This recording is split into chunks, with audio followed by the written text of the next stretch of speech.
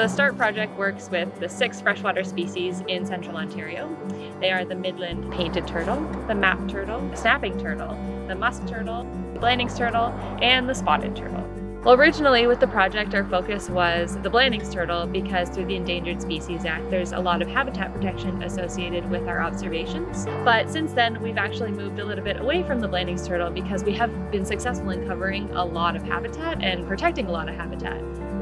The entire season lasted from the beginning of May until the end of August 2019. Um, it kind of started off with something called boot camp, where it was a two week intensive program and we learned how to identify different reptiles and amphibians, as well as focused on turtles in particular and how we could catch them.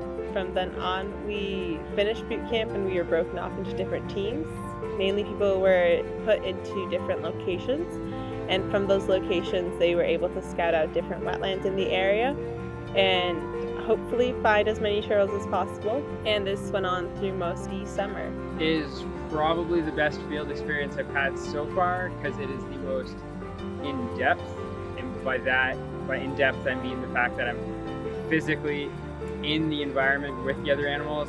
A lot of the other time I've been in the field, we're using nets or traps or something to bring the animals to us, or when I was out on the ocean, we were using remotely operated vehicles. So like the fact that I'm physically doing all of the activities in the field this time is significantly better than any other opportunity I've had. The way in which we catch turtles is pretty inventive. We actually will put on wetsuits and go into the water and actually stalk turtles. I have seen a few different turtle projects run and this is definitely the most intense process that I've had to go through. It's also the most rewarding just because you're actually in the wetland with these animals and you're able to find them.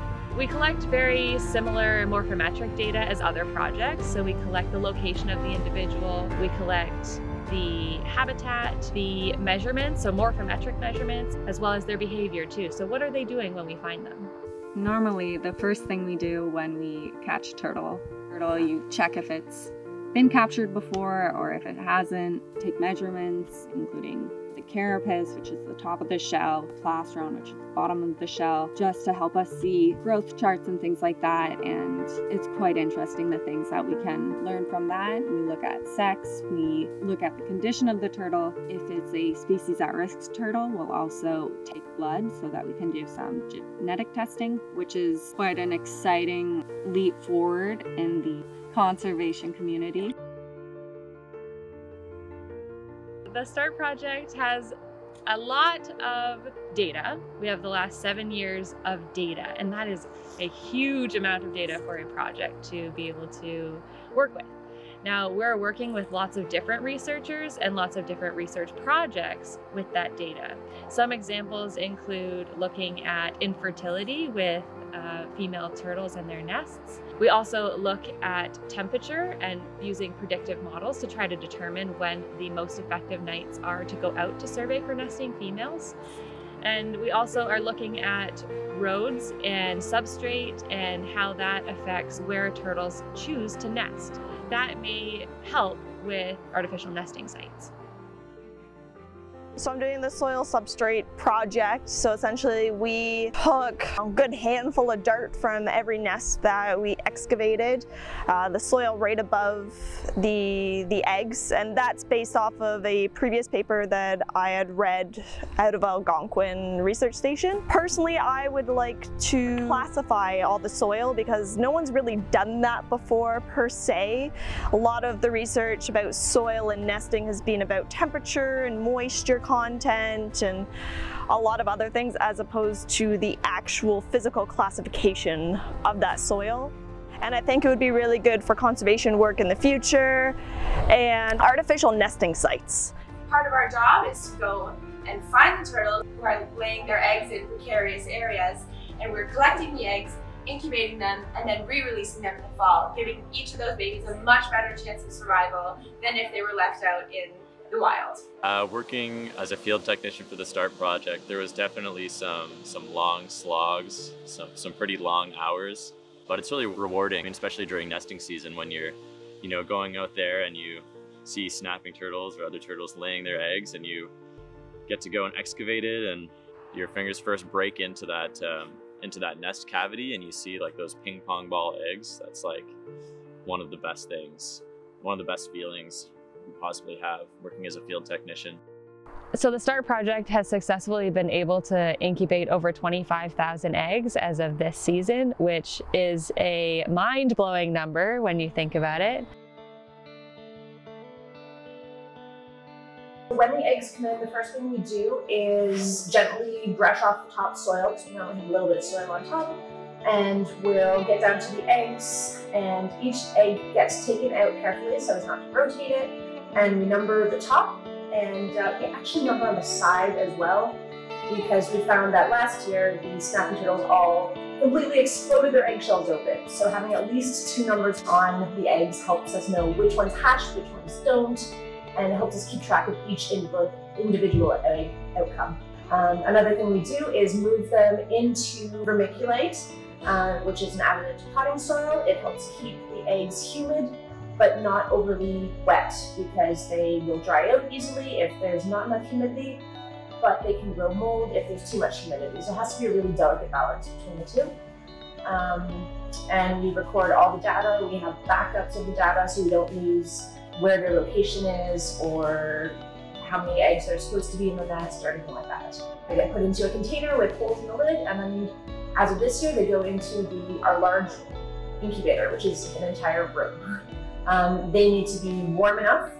We tend to keep ours at a certain temperature where we produce a certain, uh, it should be a ratio of about half males and half females, because I'm sure you guys have heard already that a lot of turtle species have temperature dependent sex. We go in every day, we check the temperature, make sure it's steady, we check the humidity, make sure it's high enough, and uh, we, we see how the babies are doing and how they go. And uh, yeah, it's basically the process until they start hatching.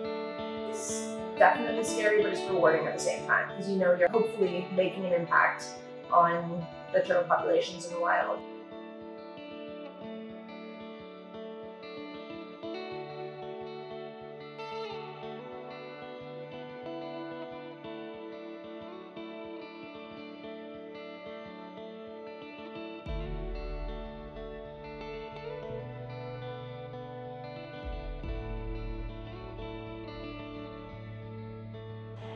When you look at other studies that have been done, such as in Algonquin Park, that does suggest that about 1,400 eggs make one adult snapping turtle. So 25,000 is a lot of babies and is a lot of eggs, but at the same time, when you think about that rate of 1,400 to 1, it's not as many as we would really like. However, our studies have shown that about 80% of nests within Muskoka are predated by foxes, raccoons, skunks, essentially anything will eat baby turtles, and especially will eat turtle eggs because they can't run away.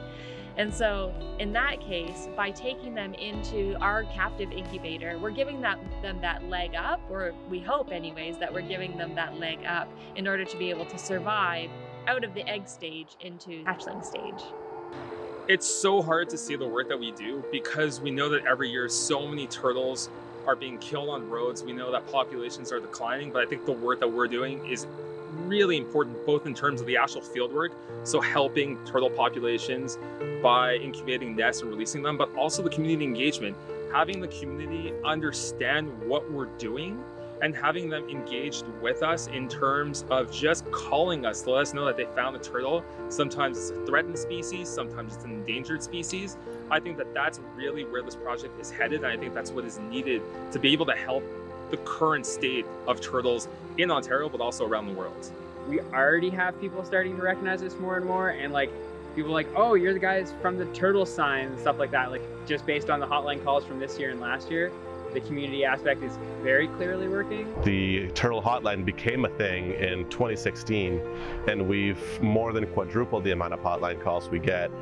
And it's so much easier for us field technicians for a member of the public to call us and tell us exactly where we're going to be finding a turtle that is a species at risk than for us to just be driving up and down roads for hours at a time, uh, just not having any luck. We have members that call in every single turtle they find on their way into the into work in the mornings and that can be 15 or 20 turtles. Just call after call after call which is fantastic. Other people will call in regarding uh, really important observations like Blanding's or spotted turtles. So we have had a huge impact on community members and the impact that they have then on the turtles has been really quite phenomenal.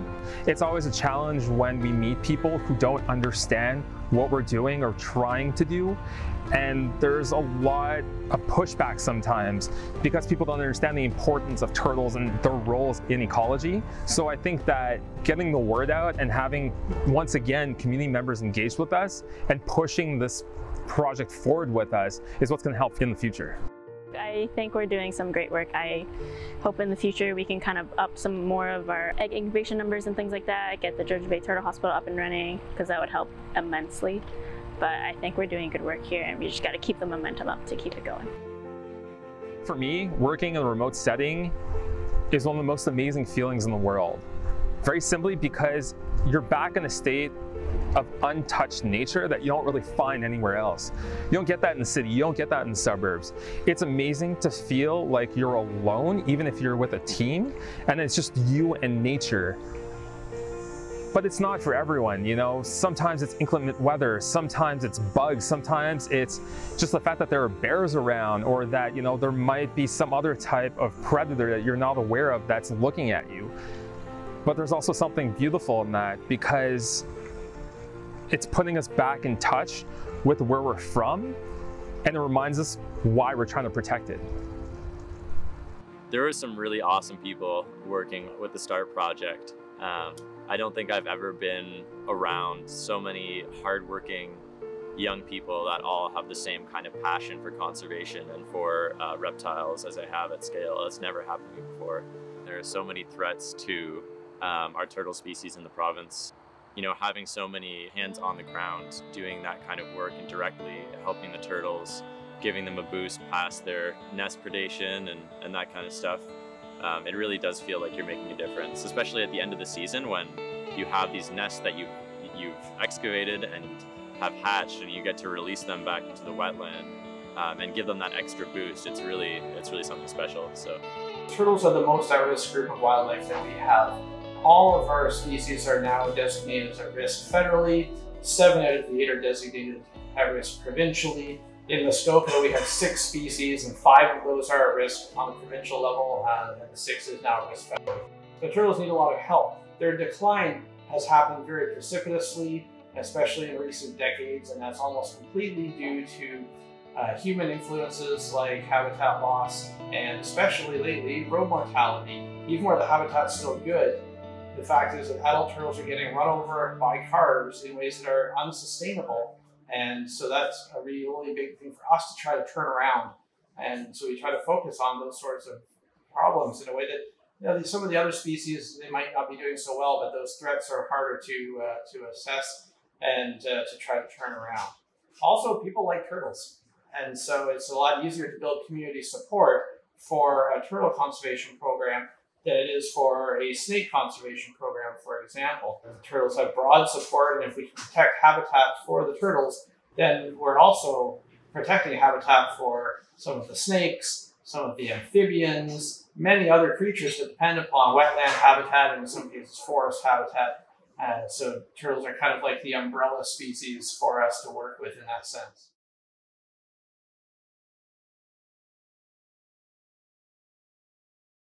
Okay, let's talk about being a field technician for the START project. So sometimes I'm out there on a wetland or walking through some barren with a wetsuit and looking for turtles and I'll stop and actually think to myself, this is my job. This is what I do. I just hike around, I look for wildlife that I'm actually really interested in, and I get to interact with them in these beautiful scenes of Muskoka in Ontario. And, you know, despite all the hardships, despite all the bugs, despite the hot and cold cycles, it's really a rewarding experience when it comes down to it. And that's why I keep coming back to it year after year.